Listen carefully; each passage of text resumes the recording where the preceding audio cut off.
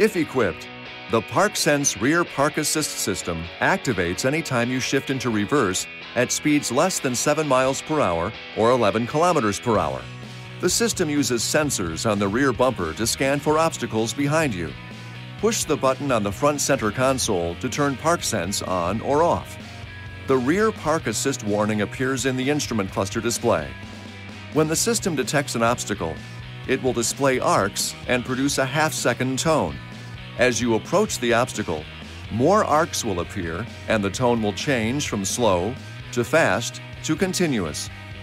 To access the system via the touchscreen, from Settings, select Safety and Driving Assistance. From there, adjust Park ParkSense to your personal preferences.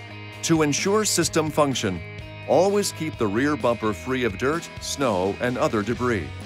This video is not intended to take the place of your owner's manual. For complete details and other important safety information, please see your owner's information.